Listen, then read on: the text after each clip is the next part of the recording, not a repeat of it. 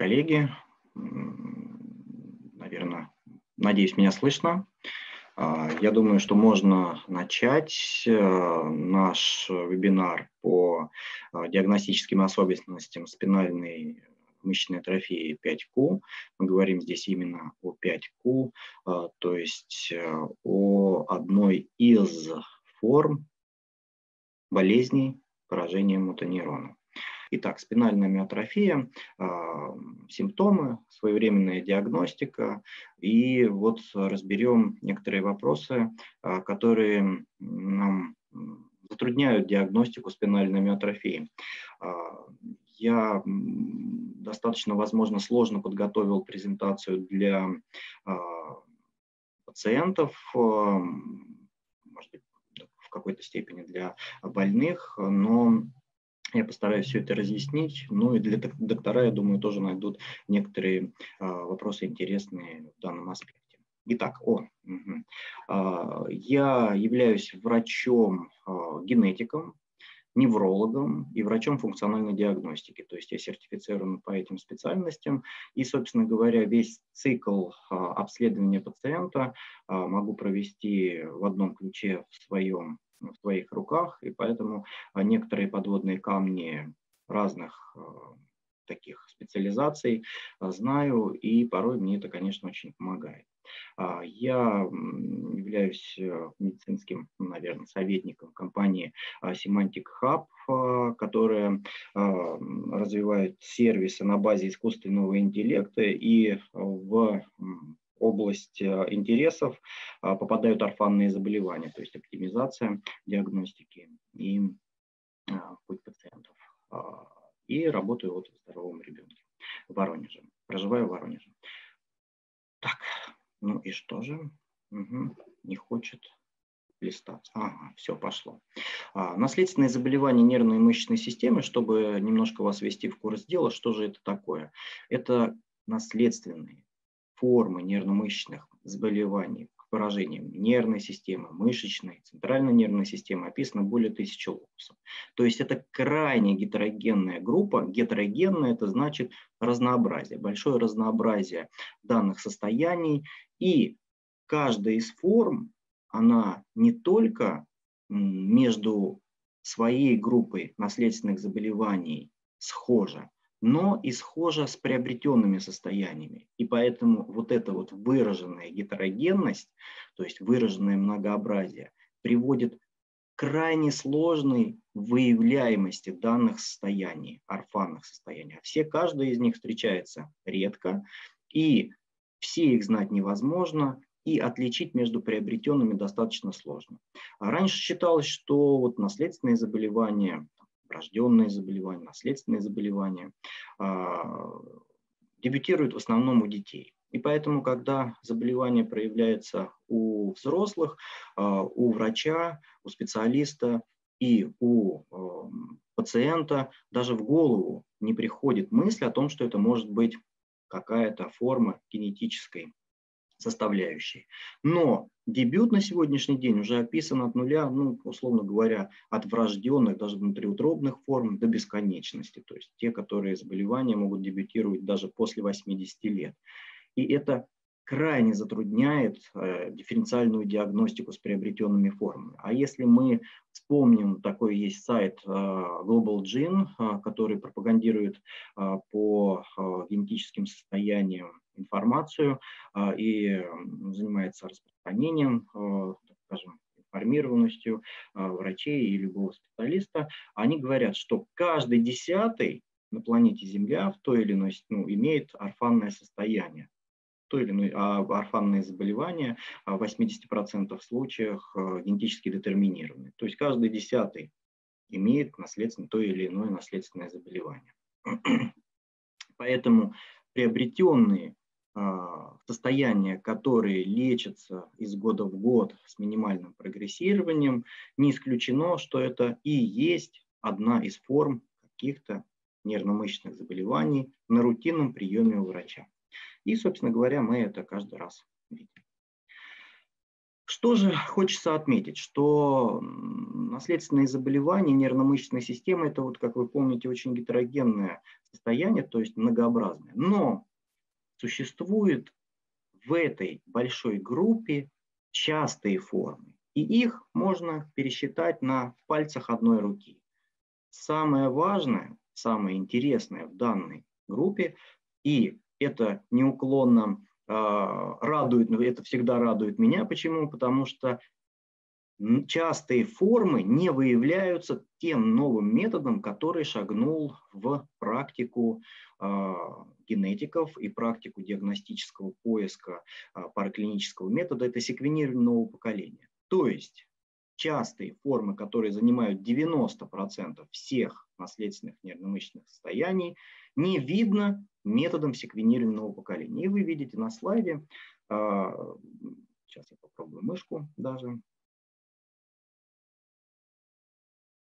И вы видите на слайде, что а, самые частые формы это болезнь, ну, болезнь Шарко-Мари, а, по суммарной частоте 1 на, 2, 1 на 1200 а, встречается, то есть очень частая форма, 70% из которых занимает первый атип. И а, из этих форм не видно секвенированного поколения эти первый тип в 95% случаев. То есть нужно для частых форм нужно использовать специализированные методы ДНК-диагностики, чтобы подтвердить.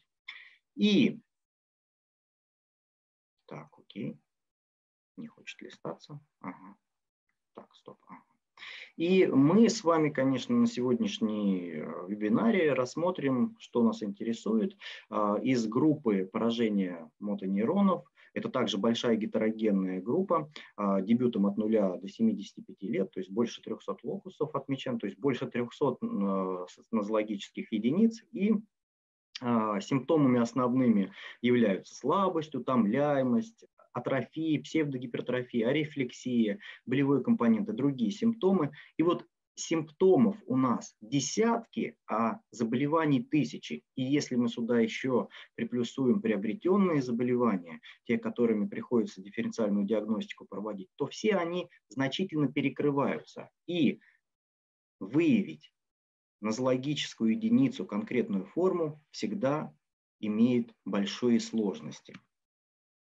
И мы рассмотрим с вами спинальную миотрофию, а, та, которая является одной из самых частых болезней мотонейрона. Дальше мы с вами посмотрим, а, что она из себя представляет. И она как раз входит в ту группу частых форм наследственных нервно-мышечных заболеваний, те, которые не верифицируются методом секвенирования нового поколения. Вы знаете, что для проведения подтверждающей ДНК-диагностики необходимо специализированный метод. И, кстати говоря, в большинстве случаев это дешевые методы, то есть они там, в пределах там, 3-5 тысяч рублей позволяют диагностировать. Секвенирование нового поколения стоит там, от 30 тысяч и выше, а, и поэтому и не выявляет заболевание. Поэтому неверная интерпретация клинических данных и неверный подход к дифференциальной диагностике с выбором неверного ДНК-теста позволяет обременить и так пациентов а, значительно использующие свои финансовые возможности для реабилитации, могли бы использовать, да, а здесь еще и неверные тесты. И а, спинальная миотрофия, как вы видите, а, не выявляется методом секвенированного поколения. Это точно нужно знать, потому что когда вы приходите к врачу часто а, на прием, и зная, что в панели секвенирования нового поколения включены гены, как раз ответственные за эти заболевания, которые здесь указаны, они занимают 90-95% среди всех наследственных заболеваний на текущем приеме а, у рутинного врача, то, видя в заключении секвенирования, что исследуется ген, врач думает, что отправил и исключил данное заболевание. Это не всегда, но бывает такое. И поэтому э, нужно знать не тысячу заболеваний, а всего лишь пять. И одно из которых нужно знать обязательно на рутинном приеме, это спинальная миотрофия. И я всегда э, люблю приводить вот этот сайт, собственно говоря, э, Вашингтонского университета нервно-мышечных заболеваний, сайт, э, где позволяет провести такую маршрутизацию своих знаний и представленных симптомов пациентов и определиться с той или иной нозологией и дальше уже разрабатывать подробно методы диагностики и верификации заболевания. А, что же здесь указано? Что спинальная миотрофия 5Q, да, называется общим таким названием, это, собственно говоря, не, и вы видите, спинальная миотрофия 0, первый тип, второй, третий, четвертый тип, то есть их 5 разновидностей, и они еще подразделяются на свои там 3А, 3Б, а, но по сути это одна и та же болезнь с мутациями в одном и том же гене, но разнесенная во времени. И для врачей, для того, чтобы было удобно понимать, а, для подходов к лечению, для реабилитации. А, пытаются разделить, ну не пытаются, разделили их а, по возрасту дебюту, по прогрессированию заболевания на различные типы, чтобы предсказать те или иные осложнения. И если вы посмотрите, то частота данного состояния составляет 1 на 6 тысяч новорожденных. Это очень высокая частота, хотя это орфанное заболевание, очень высокая частота, оно является самым, самым частым рецессивным заболеванием среди нервно-мышечных заболеваний и вторым по частоте среди всех рецессивных заболеваний после э, муковисцидоза. А вы знаете, что на муковисцидоз проводится скрининг новорожденных, которые выявляют данное заболевание до симптоматики, чтобы в дальнейшем проводить профилактическое лечение. А скрининг, эм, возможно, возможно, не. Э, все данные, еще раз хочу подчеркнуть, которые я здесь представляю вам, это а, в той или иной степени мое мнение и мое понимание проблемы. То есть это нельзя экстраполировать так, что это истина в последней инстанции. И а, мое видение, мое понимание, что в ближайшее время в связи с тем, что есть лечение, появилось лечение патогенетическое, которое может остановить заболевание, то рано или поздно скрининг э, шагнет в наши э, рутинные методики и будет направлен на выявление раннего, досимптоматического проявления данного, данного состояния. А вы видите, что мышку мою видно, вы видите, что э, частота носительства составляет в популяции 2-3%. То есть каждый, но в, в России посчитано, Виктория Забленкова э, проводила исследование и показала, что э, каждый 36-й носитель спинальной миотрофии. То есть это крайне высокая частота э, события, которое возможно произойти при встрече носителей и появлении данного заболевания. Что хочется отметить? Да, 17 на 100 тысяч новорожденных – это очень высокая частота, и очень интересно, да, что в России орфанным заболеванием считается заболевание то, которое 1 на 10 тысяч и реже. Да? А это 1 на 6 тысяч. Так орфанное ли это заболевание? Но по орфанное заболевание в разных странах считается по разным критериям. А, допустим, там для Японии, по-моему, один на две с половиной тысячи, а, то есть по количеству пациентов, один на две с половиной тысячи частота. А, допустим, в Японии один на полторы тысячи, по-моему, в Америке. Ну, для сведения. Наследственных заболеваний с поражением мотонейронов их большое количество. Но спинальная миотрофия, здесь указаны они вот с того сайта, который я говорил, нервно-мышечных заболеваний. Дифференциальную диагностику приходится проводить с, со всеми состояниями. Но, по сути, если есть признаки поражения мотонейронов, то в 90-80% случаев это будет спинальная миотрофия. То есть можно вообще больше ничего не знать врачу, а знать только эту болезнь и отправив на специализированный тест, который выявляет исключительно эту болезнь. По большому счету можно на этом останавливать презентацию. Почему? Потому что все, больше не, даже больным пациентам, а, если какие-то проявления есть схожие с этим состоянием, то по большому счету вообще больше знать ничего не нужно. Да, как бы вот можно было бы и закончить. Но пройдем дальше. Если вдруг спинальная миотрофия не выявилась, допустим, при подозрении э, имеющихся симптоматики, схожих для поражения мотонейронов, то вот эти 10-20% оставшихся состояний, они крайне сложны в дифференциальной диагностике. То есть там затягивается, вот по моему опыту, а, диагностика больных на годы. То есть если не поставил сразу, то это будет, эм, как правило, ну, там 50% обычно я ставлю до года, то есть в связи с исследованием различных параклинических методов, а некоторым, вот, некоторым я ставил да, по 5, по 7 лет. Поэтому если вы а, пациент или врач, а, который занимается этими заболеваниями, нужно понимать, что это не одномоментное состояние выявления данных заболеваний. Спинальная миотрофия легко, остальные заболевания сложно. Итак, посмотрим, что же нам помогает в параклинических методах, а, которые позволяют нам провести дифференциальную диагностику или заподозрить данное заболевание. Итак, генеалогический метод. Ну, что же он из себя представляет? Мы рисуем родословную, да, здесь вот э, нарисованы кружками это женщины, э, квадратиками это мужчины, э, зачеркнутые фигуры это те, кто умерли. Э, ну, это такая родословная просто мной нарисована, не связана ни с каким состоянием.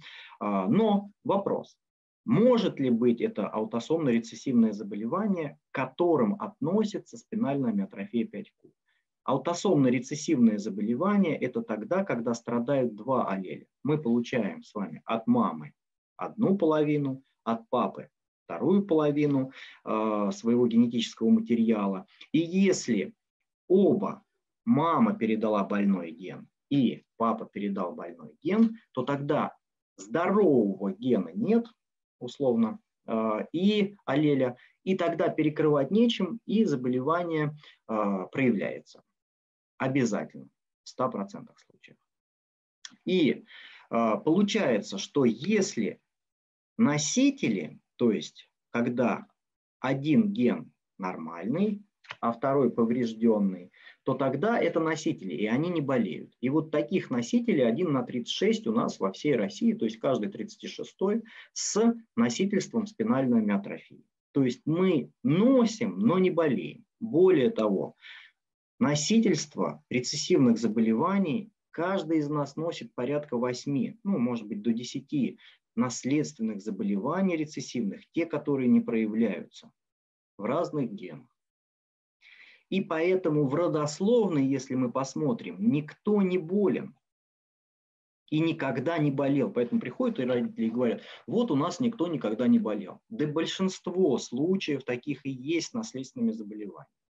То есть родители с точкой вот здесь, как в родословной отмечено, носители, а если они оба передают больные гены, то развивается или разовьется заболевание, то, которое рецессивное, которое они носили и передали два больных гена. Если они передали один лишь э, аллель больной, то опять будет носитель. И в большинстве случаев проявляется заболевание именно в одной родословной. То есть оно как бы в больных семь, в, у носителей в семье должно э, горизонтально передаваться, то есть в одной родословной. И мы видим, что здесь примерно вот 25% пациентов из СИПСов. СИПСы – это братья и сестры, а, больные. Вот стрелочка указывается пробант. Пробант – это а, то, от которого пошло обследование родословной. Пробант, кстати, не всегда должен быть болен. Вот, это тоже очень интересный момент, потому что говорят, что пробант, значит, точно больной. Итак, но весь вопрос заключается, если в семье у нас один или несколько всего лишь детей, то риск, который могут передать родители, не риск, а болезнь, которую могут передать своим детям, составляет 25%. То есть в части семей, даже когда носят заболевание, у них детей больных нет, потому что они просто не передали оба больной аллель. В данной ситуации может ли быть это рецессивное заболевание? Конечно, может. Почему? Потому что родители могут быть носители, и тут нет никакого исключения. Но оно также может, это родословно быть аутосомно-доминантное, также может быть и митохондриальное, эксцепленное, и вообще может быть ненаследственное, потому что в родословной никого больных нет. И это-то и приводит к затруднению к дифференциальной диагностике а, вообще наследственных заболеваний. А вот такая родословная может ли быть э, характерна для спинальной миотрофии?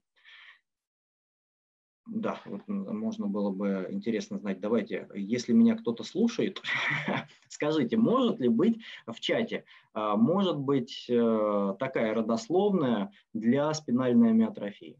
То есть тогда, когда от папы, да, там передалось заболевание дочери, ну, по крайней мере, вот мы имеем такую родословную. То есть а, не по горизонтали передается заболевание, а по вертикали. Может ли? Ну, здесь собрались эксперты одни, да, даже я не знаю, я очень рад, что э, действительно отвечают э, да. Э, Ольга Иванова и Оксана, но я по фамилии то, что в чате отображается. Почему?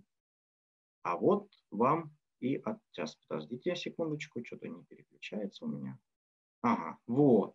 Это называется псевдодоминантный тип наследования, это редкое состояние, но от частоты носительства такое состояние может встречаться. Или, я как говорю, а, допустим, если имбретные семьи, э, если мы рассматриваем э, состояние тогда, когда берут э, там, из соседних, в маленьких деревнях, да, там эффект основателя часто присутствует, а, когда такие не, не, не, не переезжие а, уже группы сформировавшиеся небольших деревень и берут из соседней деревни, ясное дело, что там близкородственный брак очень высоковероятно. И получается ситуация такая, что больной в данной ситуации, который имеет два аллеля, у больного мы знаем при рецессивном заболевании два аллеля больных, и он взял себе супругу с носительством данного же заболевания. Тогда, когда у нее один нормальный, один больной. То есть супруг может передать только больной аллель, а супруга может передать только больной и здоровый. То есть 50 на 50 получается псевдодоминантный тип наследования. Но это рецессивное заболевание, и такую родословную мы также можем встретить при спинальной миотрофии. Поэтому а, генеалогический метод в данной ситуации а, при рецессивных заболеваниях часто нам не помогает. И более того, я вам скажу, что на своем приеме, а, имея в большинстве случаев, ну, занимаюсь я наследственно-нервно-мышечными заболеваниями, более 70% семей у меня без, э, в родо, без родословной э, с повторными случаями в семье. То есть это один больной, приходит и говорят, что у нас никто никогда не болел, но вот кто-то заподозрил наследственное заболевание. Это еще больше осложняет дифференциальную диагностику, потому что мы имеем проблему с верификацией, наследственное это заболевание или не наследственное. И в более позднем дебюте, и даже с доминантными формами, тогда, когда неомутации происходят. Вот, поэтому это очень-очень а, сложный вопрос. И хочется отметить, что когда говорят, приходят да, а, пациенты и говорят, да вот у нас никто не болел. Да ничего это абсолютно не значит. Каждый десятый из нас тем или иным наследственным заболеванием. Каждый десятый. Поэтому про это нужно помнить. И э, генеалогический метод не всегда нам позволяет расставить точки над. Клинический. Про клинический это вообще полный кошмар, но, кстати, он и является ключевым. Если мы имеем проксимальный тетрапорез, а мы знаем, что спинальная миотрофия это имеет проксимальный а, проксимальный, то есть, ну, я так понимаю, что нас, э, меня слушают и, а, может быть, родители пациентов, и, может быть, сами пациенты. Проксимальная слабость, наверное, вы уже знаете, это лучше всех врачей, но это а, распределение слабости от торса, ближе к торсу, мышцам, которые... И в эту группу, если попадается проксимальная слабость, что же там может быть? Да кошмар. Там может быть и митохондриальные, и воспалительные приобретенные миопатии, и моторно-сенсорная нейропатия даже с проксимальным, и может быть и спинальная миотрофия. В общем, бесконечное количество нозологических единиц, с которыми нужно разбираться, и все их, конечно, знать невозможно. Давайте посмотрим проявление при спинальной миотрофии первого типа, или как называют ее а, Верника Гофмана. Дебют до 6 месяцев, но вы вспомните, что это заболевание спинальной амиотрофии 5Q, это разнесенное во времени состояние, и четко их продифференцировать не всегда возможно. То есть, допустим, а, эти там центры ну, не сидят, да, не сидят. И, а, а если сел и неделю посидел и перестал сидеть, их там начинают делить еще на подтипе. Это одно и то же заболевание. И единственное, для чего нужно, а, чтобы решить вопрос по типам, потому что иногда пациенты спрашивают, а какой же это первый или второй? Да вообще, это не то, что без, это не, не то, что без разницы, это важно для прогноза, для э, осложнения решения вопроса реабилитации. Но с разными типами могут э, по длительности выживаемости быть э, в различные э, группы попадать. Но в большинстве случаев без лечения летальный исход до двух лет куполообразная деформация грудной клетки практически, ну, не знаю, в медицине нет такого термина у всех, да, но в данной ситуации даже можно сказать у всех. А, потом фасцикуляция языка, вот у своих пациентов я всегда находил. Итак, второй тип спинальной миотрофии.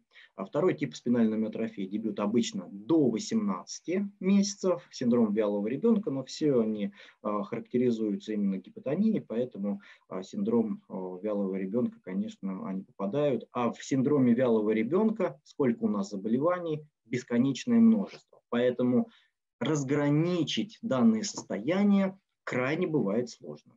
Даже, допустим, с ДЦП, да, фотонической формы. Сухожильная рефлексия не обязательно, но очень часто присутствует. Э, чем дальше прогрессирует заболевание, тем э, рефлексы, конечно, выпадают.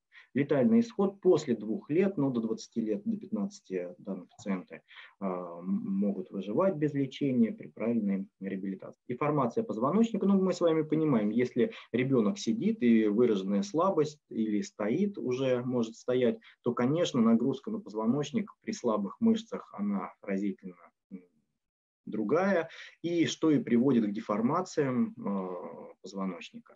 А при первом типе, э, конечно, нужно учитывать то, что ну, вот куполообразная деформация грудной клетки и отсутствие так скажем, а, активности мышечных э, межреберных мышц и те, которые участвуют в акте дыхания, если мы не будем а, на ранних этапах проводить реабилитацию в виде а, там, инвазивной вентиляции легких, то есть увеличивать объем грудной клетки, то при росте ребенка, конечно, объем будет ну, развиваться дыхательной недостаточностью в связи с тем, что грудная клетка практически не растет.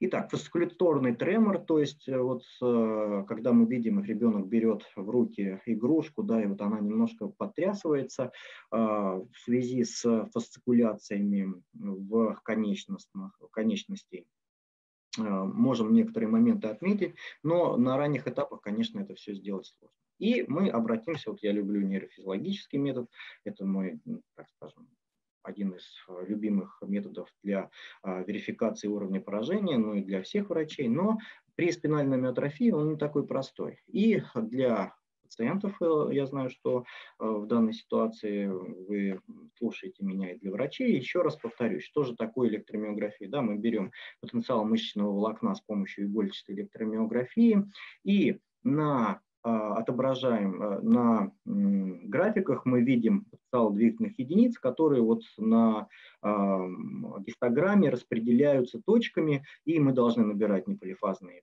двигательных единиц, и они распределяются по длительности, по длительности и по амплитуде. И, собственно говоря, здоровая мышца имеет э, здоровые мотонейроны, иннервируют мышечные волокна, которые суммарно сокращаются и вот дают нам такой потенциал а, и это норма. И вот на, по крайней мере, приборы нейрософт, они отображаются а, в вот таких вот квадратах. А, да, это распределение, да, 75% э, медиана, наверное, и 50% там, где должны находиться в норме по длительности и амплитуде. Что же происходит при миопатиях? При миопатиях мотонейрон жив, Мотонейрон – это структура единицы, а, периферический мотонейрон, находящийся в спинном мозге, который а, дает свои аксоны к мышцам и нервирует их, благодаря этому обеспечивает сокращение а, мышцы, ну и трофику мышцы. И при миопатиях мышечные волокна выпадают, мотонейрон жив, и из-за этого в большинстве случаев уплотняется мышечное волокно, и в конечном итоге а, что получается? Что облако распределения потенциала двигательных единиц смещается по длительности, укорачивается по длительности и уменьшаются по амплитуде. Это и является миогенным паттерном. Нейрогенный паттерн. Что же происходит в этой ситуации? Мотонейрон погибает, мышечные волокна, которые он иннервировал, отваливаются от него, и тот мотонейрон, который остался в живых, он берет спраутингом, да, то есть вот коллатеральным, э, так, от, э,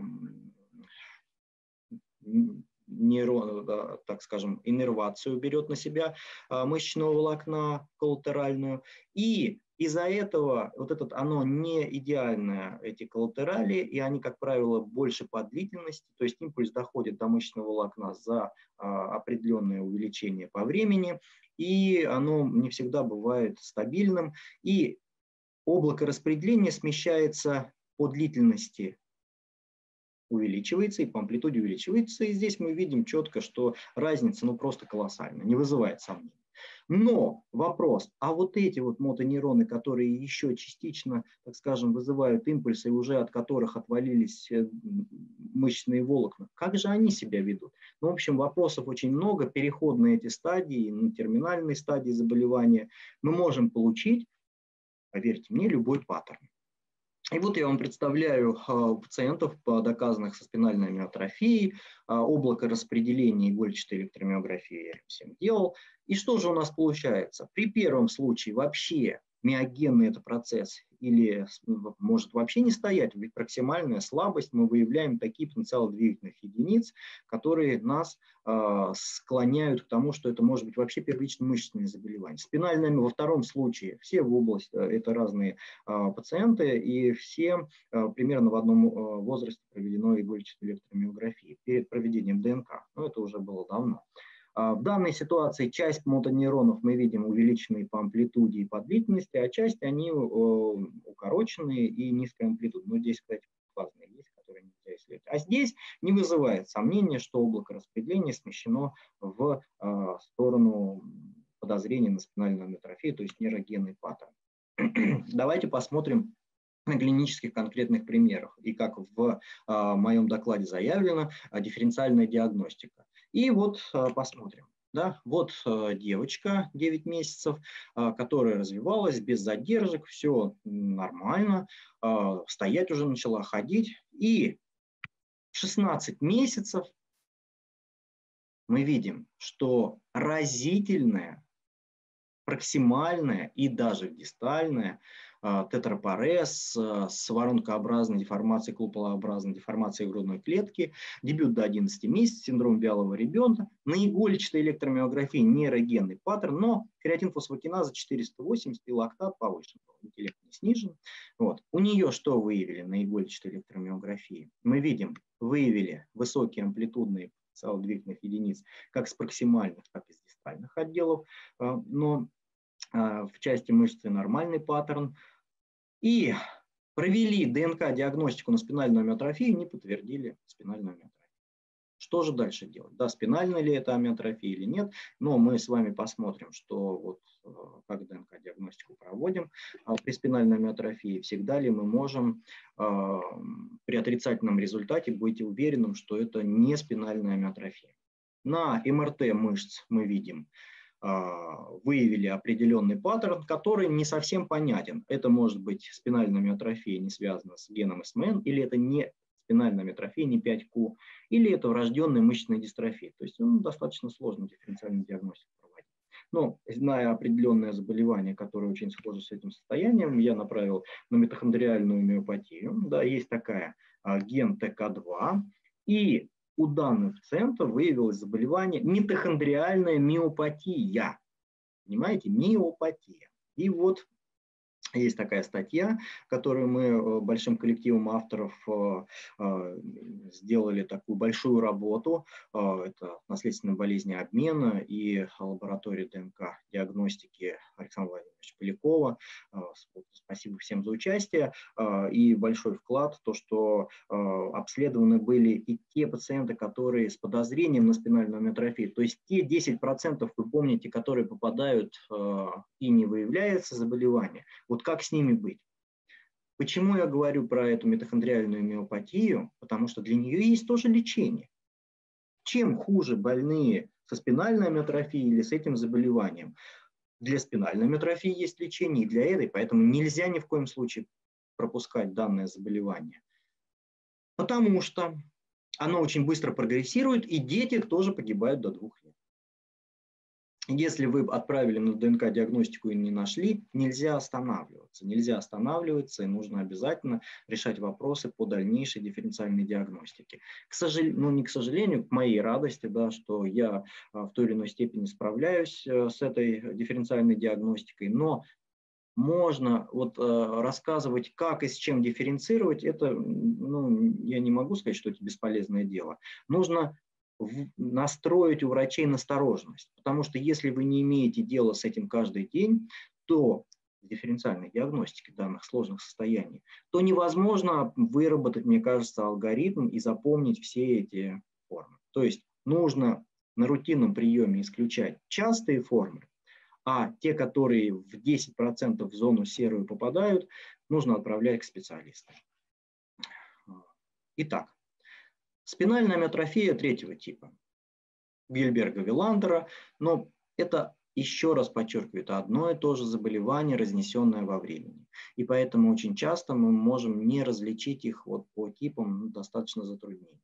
И пациентов нужно а, оценивать конкретные симптомы, а, и в зависимости, чем раньше начинается заболевание, тем тяжелее оно протекает. И вот ну, не знаю, может быть, не, не столько рад там первый или второй тип, по большому счету, э, ну, затруднительно сказать о прогнозе для пациента на дальнейшее. И это заболевание незначительно ограничивает длительность жизни, и чем позже оно начинается, конечно, тем э, благоприятнее оно течет. Ну вот вам, пожалуйста, да, с чем же мы дифференцируем? Вот прислали ко мне пациента с конечностно-поясной мышечной дистрофией. Дебют вы можете посмотреть, что кифосколиоз, вот псевдогипертрофию икроножных мышц почему-то отметили, а, игольчатая электромиография, непонятный паттерн, креатинфосфокиназа 1700, поднималась. МРТ мышц паттерн тоже непонятно. Отец и мама ну, здоровы, само собой, и при конечностном пульсе. Что же выявлены, это не я делаю игольчатую электромиографию, но первое, мы видим, что креатинфосфокиназа повышена, а креатинфосфокиназа это мышечный фермент, но это энергетический субстрат для мышечного волокна, для митохондрий, и при разрушении мышечного волокна начинает выходить креатинфосфокиназа э, из мышцы в кровь и, так скажем, повышается. Что же мы здесь видим? 1500 при норме 154. Ну, в принципе, можно заподозрить и конечностно-поясную миопатию, несомненно. Мы видим, что здесь миогенный паттерн, ей что только не делали на ДНК-диагностике, ничего не выявили. И это спинальная миотрофия третьего типа. Поэтому дифференциальная диагностика не только с болезнями мотонейрона попадает на спинальная миотрофия, но также и в большой группе миопатий.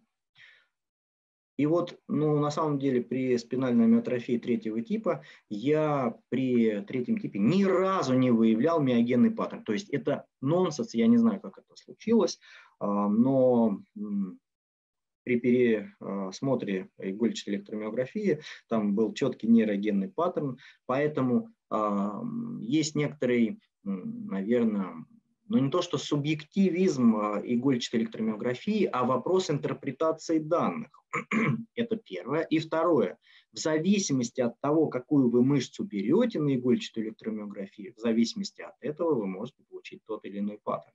Поэтому выбор мышцы для игольчатой электромиографии – это одно из важнейших аспектов верной интерпретации топики поражения. Вот, больной был прислан с миопатией Дюшена Бекера с подозрением. А, ну, кстати, да, через а, контакт он ко мне обратился, и вот мы с ним попытались довести это дело до конца. Смотрите, креатин фосфокиназа 4000, МРТ мышц паттерн не совсем понятен. И а, обследовался он в разных а, лабораториях, а, в разных диагностических центрах, и везде, ну, логично, КФК 4000 был заподозрен конечностно-поясной мышечной дистрофией. Делали одно секвенирование, второе секвенирование, панели, то есть бесконечное проведение, и наблюдался с 2010, 2011, 2013 года, и все время конечностно-поясная миопатия. На МРТ очень интересный паттерн. При нейрогенных процессах, это Э, МРТ мышц бедер, да, МРТ мышц бедер и голеней. Мы видим здесь асимметрию э, и видим диффузный паттерн в определенных группах мышц. Диффузный паттерн. Диффузный паттерн характерен для поражения нейрогенного или неврогенного поражения. Но Ряд мышц имеют гипертрофию и э, увеличение в объеме и сохранность. Это э, аддуктор лонгус э, и короткая э, головка мышц э, бицепса. Эти мышцы вообще не видны на МРТ в норме. И вот они увеличиваются практически исключительно при спинальных амиотрофиях. И здесь мы видим, так скажем, асимметрию, что характерно для спинальной амиотрофии. И был он направлен на спинальный один единственный тест, и подтверждена спинальная амиотрофия. Понимаете? Непростая задача дифференциальной диагностики, даже рутинных частых форм. И спектр заболеваний, он разрастается просто до бесконечности. А если это дебют заболевания, то это вообще очень трудно сделать. Что же делать?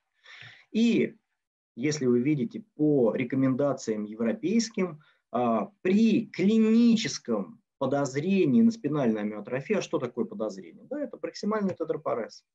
Проксимальный тетрапорез, ну там мы берем первый тип куполообразной деформации грудной клетки, но неважно, любой паттерн, характерный для спинальной амиотрофии, мы должны делать первым ДНК-диагностику.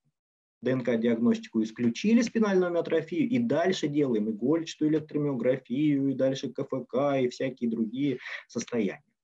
У нас клинические рекомендации были разработаны по 13, 13 а, августа 2020 года. Да, я тоже участвовал в этом а, разработке.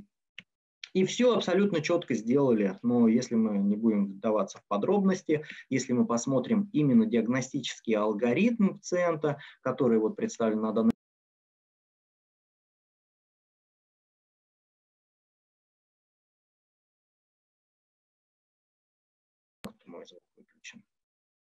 Мой звук работает, наверное. Почему-то у меня написано, что организатором выключен.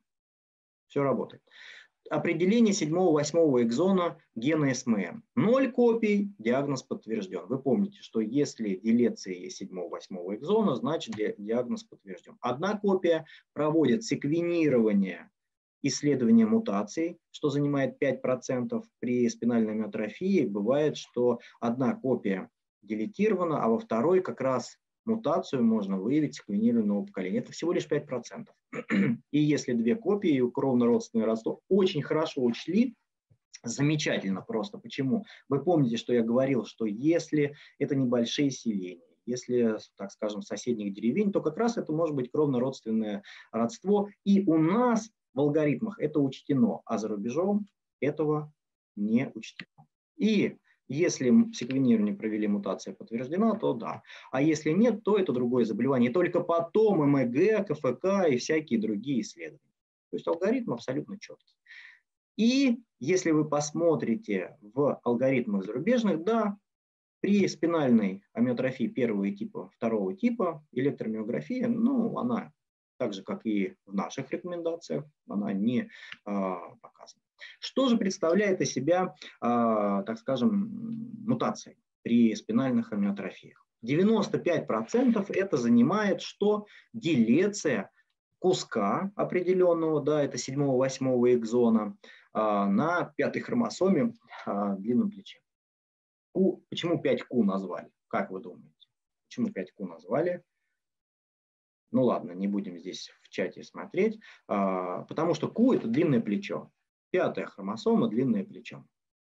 И 95% одна лишь мутация, которая там стоит, ну, там, я не знаю, 2,5, там, 4 тысячи а, для того, чтобы посмотреть и подтвердить. То есть, в принципе, даже можно самим пациентам этот анализ в скрининговом режиме проводить, но 4 тысячи это вообще о чем? Это ни о чем. Да? Конечно, и даже эта сумма могла бы пойти на реабилитацию, но отсрочка по времени имеет катастрофическое значение. Как правило, погибшие мышечные волокна, нейроны, они не восстанавливаются. Поэтому время катастрофически значимо.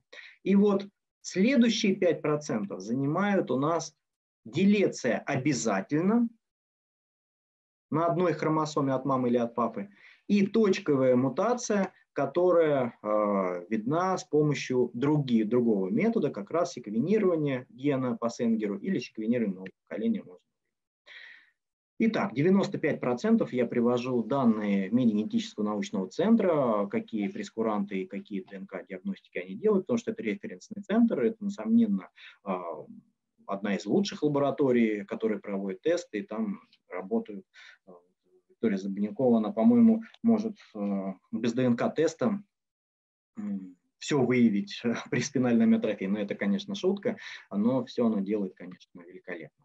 95% а, это гомозиготная делеция. Да, и если вы посмотрите, вот, к сожалению, мое видео забивает то, что здесь есть, это стоит 4600, да, только, и вы посмотрите, только для больных, 4600, ну, это недорогие, а, недорогое исследование, 95% выявляют больных со спинальной амиотрофией. То есть есть подозрение сразу пациенты, идите делайте этот тест, не нужно врачей донимать. Ну, конечно, не очень хорошее слово донимать, но по большому счету вы сэкономите себе время. Как же вы э, интерпретировать, смотреть ДНК-тесты э, на... Так, мы не успеваем немножко, но я думаю, может быть, организаторы нам дадут немножко времени побольше, если не отрубится у нас Zoom. Да? А, итак, как выявлено? А, то есть только для больных, а, и мы видим, что исследует 7-8 экзон, и если стоят буковки делеции, del-del, то есть почему две стоит del-del? Потому что от мамы и от папы мы получаем по одной копии. Если del-del на двух, то значит данного куска ДНК не присутствует, то есть там ноль. И что же получается? Делеция делеция, и это заболевание подтверждено. Если что, смотрит седьмой и восьмой экзон, это самые частые. Но седьмой экзон делегирован в 100% случаях, а восьмой экзон там в 95%. Ну, порядка этого, конечно, цифры можно не акцентировать внимание на мое, то, что я говорю, но неважно. И здесь мы видим, что восьмой экзон присутствует в, у пациентов, то есть СМН написано, присутствует. А DEL 7 это тоже подтверждает заболевание. Все, если это есть, то это заболевание подтверждено. Но а, вот а, специалисты лаборатории а, Центра молекулярной генетики видят даже следующее. То есть ген, вот мы можем получить и такие результаты. То есть делеция с SMN2, а мы знаем, что SMN2 при болезни определяет в большинстве случаев тяжесть заболевания. Но в данной ситуации мы видим, что нет делеции определяющего заболевания гена SMN1, а есть делеция SMN2. О чем это говорит? Ни о чем, это говорит лишь о том, что это не болезнь спинальной амиотрофии, а что в данной ситуации а, при передаче заболевания, если там, допустим, не заболевание, а если будут планировать детей, и если будет а, выявлено а, заболеванию в последующем поколении, но это, наверное, сложно, я его сейчас запутаю. Ну, в общем, э, делеция SMN2 определяет тяжесть заболевания при наличии делеции э, гена SMN1, э, и при следующих поколениях, ну, не для этого пациента. То есть для этого конкретного пациента диагноз спинальная амиотрофия не подтвержден. Нужно что-то искать другое. А вот если мы выявили нормальное состояние для седьмого и восьмого экзона, является ли это заболеванием? То есть спинальная амиотрофия исключена или нет?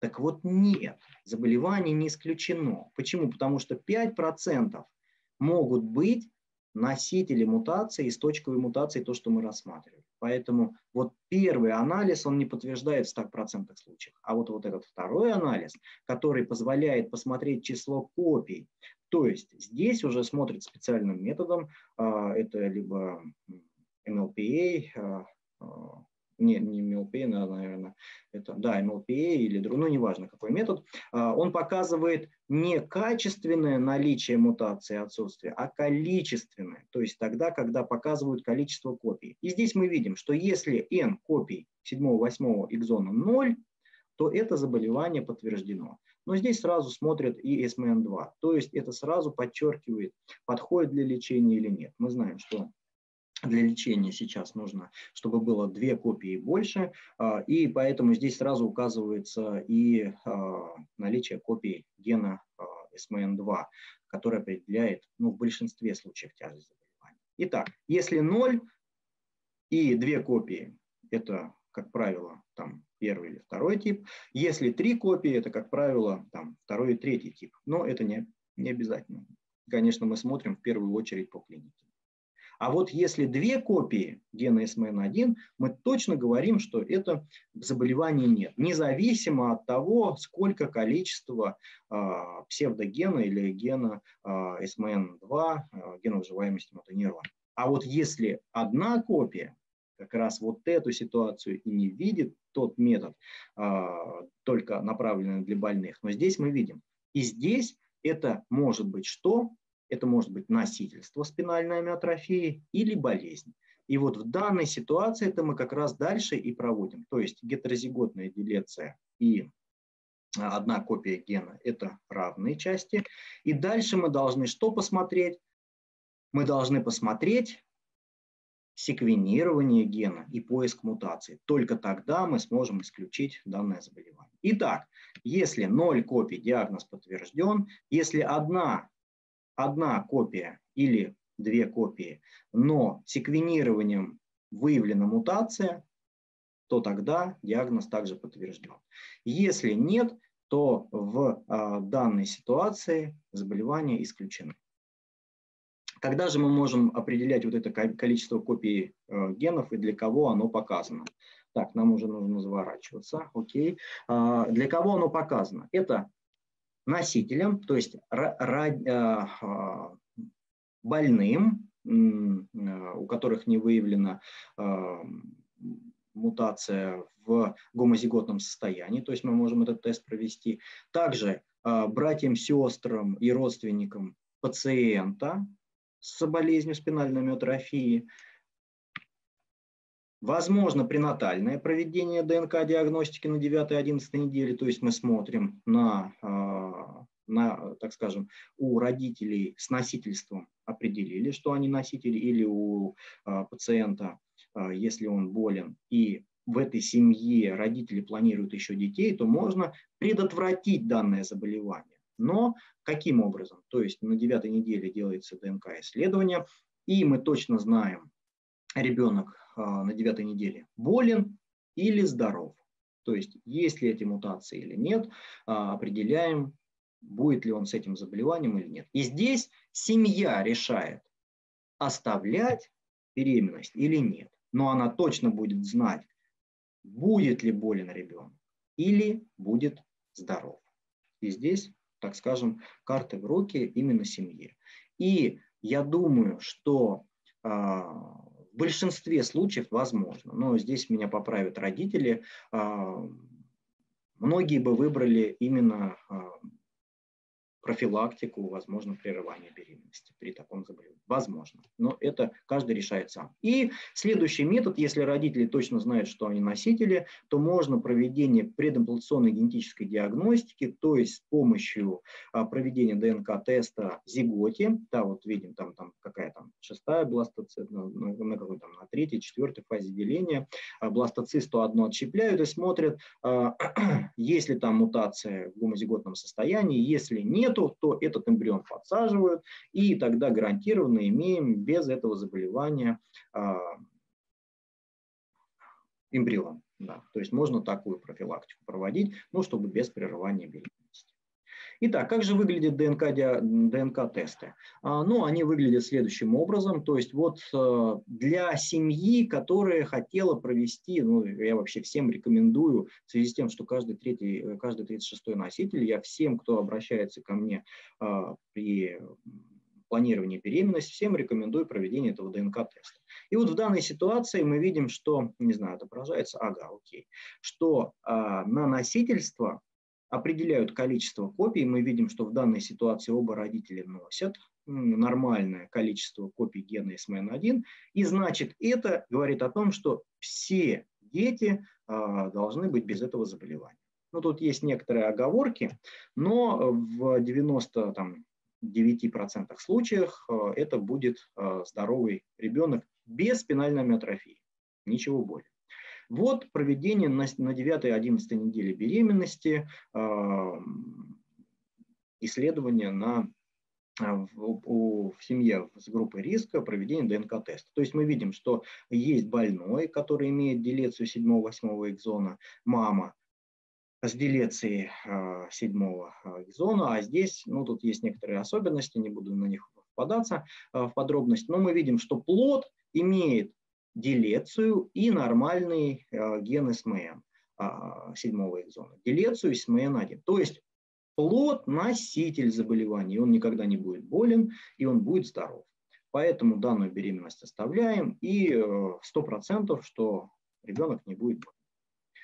Так что такая ситуация. Но хочется еще отметить, как раз я ровно уложился практически в час, а, хочется отметить, что существует бесплатная программа по спинальной миотрофии. Вы обращаетесь к врачу, врач регистрируется на специализированном центре по, а, так скажем, логистической базе, и он может отправить бесплатно ДНК-тест на сухих пятнах, но это именно тот, который для больных то есть тогда, когда происходит гомозиготная делеция. То есть в 95% случаев с помощью этого теста выявляется пациент с болезнью спинальной амиотрофии.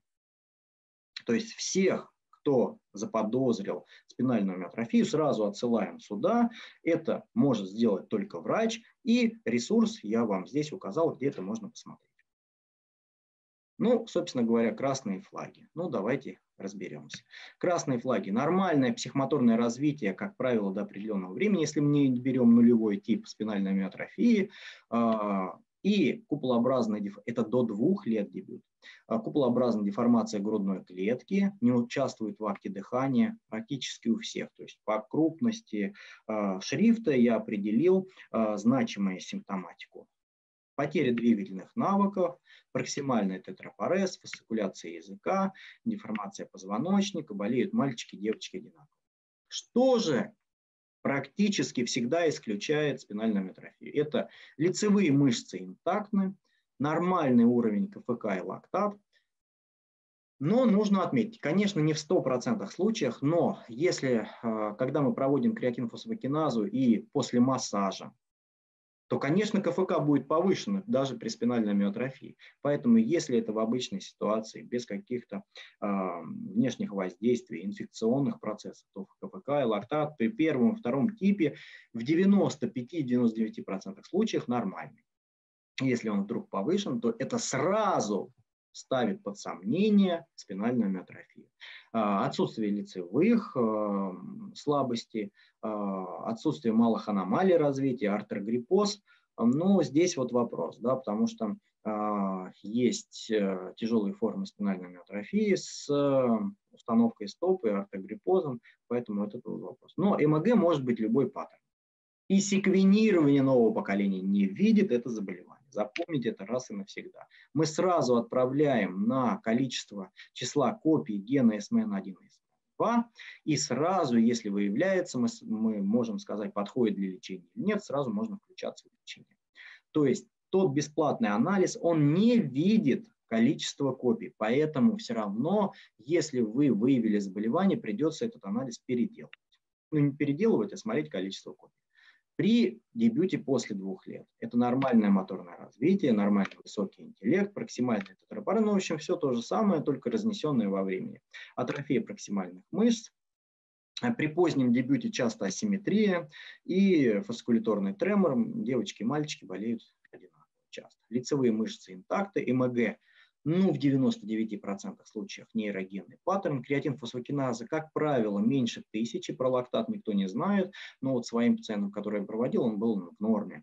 А, ну, в большинстве случаев он должен быть норм. Отсутствие малых аномалий развития. Почему я говорю про малые аномалии развития? Потому что есть синдром МВПР с проксимальной слабостью и э, с проявлением так скажем, определенных симптомов плюс, там, микроцефалия, или там э, гипогонадизм, или э, там, наоборот, макроцефалия, или там лишний палец, или еще какие-то. То есть малая аномалия развития тоже нужна. Сегвенированного поколения спинальная миотрофия 5Q не видит. ДНК-анализ числа копий определяем. Гены SMN1 и SMN2, что позволяет сразу определиться